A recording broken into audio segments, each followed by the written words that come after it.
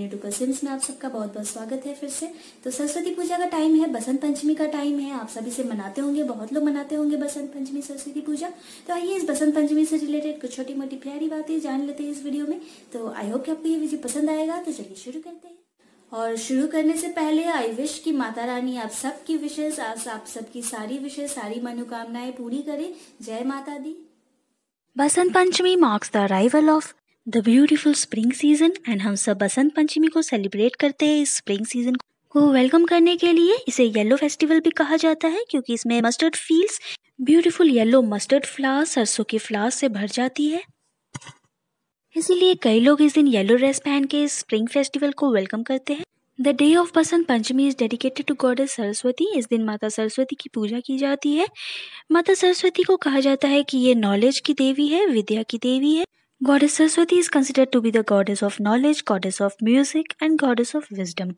So, this day people worship Goddess Saraswati to be blessed with knowledge, buddhi, vidya, and sweetness. Jai Ma Saraswati Devi Namaste.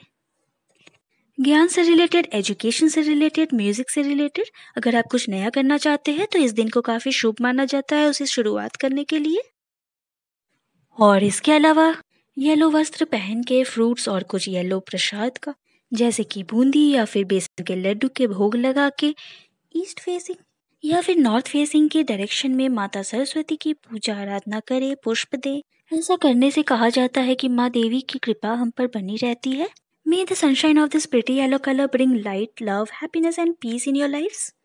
May the blessings of Maa Saraswati be showered on all of you. So, wish you all a very happy Basant Panchami. I wish you all a very very happy Basant Panchami and a blessed Saraswati Puja.